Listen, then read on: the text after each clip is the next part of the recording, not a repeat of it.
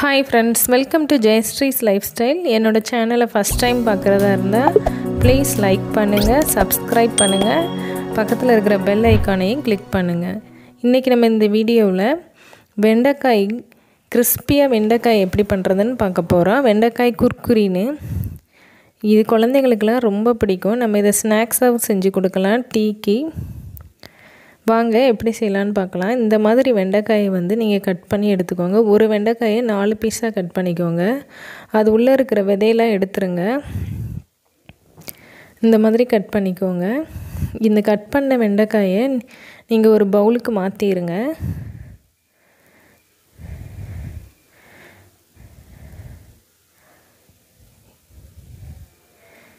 இந்த மாதிரி நீங்கள் மாற்றிட்டு அதுக்குள்ள என்னென்ன மசாலா பொருள் சேர்க்கணும்னு பார்ப்போம்.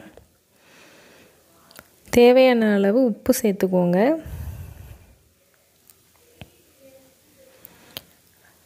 அடுத்து ஒரு ஸ்பூன் மிளகாய்த்தூள் சேர்த்துக்கோங்க. கால் ஸ்பூன் கரம் மசாலா சேர்த்துக்கோங்க. கொஞ்சமாக மஞ்சள் தூள் சேர்த்துக்கோங்க. கரம் மசாலா சேர்க்குறேன். அடுத்து கடலை மாவு இந்தளவுக்கு சேர்த்துக்கோங்க. ஒரு ஸ்பூன் வந்து நான் அரிசி மாவு சேர்க்குறேன். இது எல்லாத்தையும் நல்லா மிக்ஸ் பண்ணுங்கள் ஃப்ளேவருக்காக கொஞ்சமாக ஜீரகம் சேர்த்துக்கிறேன்.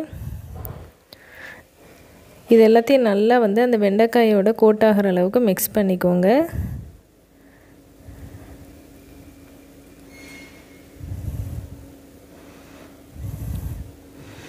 இந்த மாதிரி நல்லா மிக்ஸ் பண்ணிட்டிங்கன்னா ஃபுல்லாக அந்த மாவு அந்த மசாலா எல்லாம் வெண்டைக்காயில் வந்து நல்லா சேர்ந்துடும் இந்த மாதிரி இதை வந்து நீங்கள் ஒரு பத்து நிமிஷத்துக்கு மூடி வச்சுருங்க.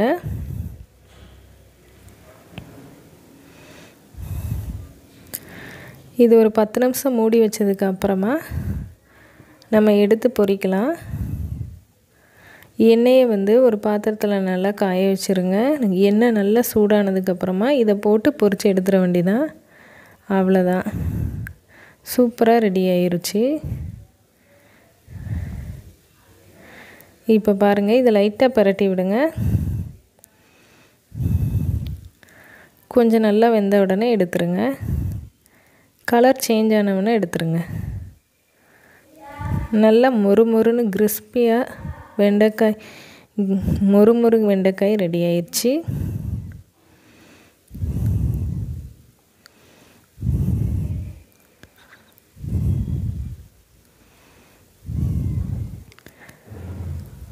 இந்த மாதிரி செஞ்சு கொடுங்க உங்கள் குழந்தைக்கு.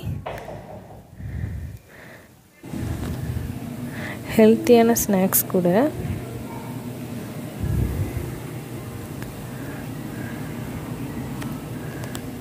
அவ்வளோதான் ஃப்ரெண்ட்ஸ் தேங்க்யூ ஃபார்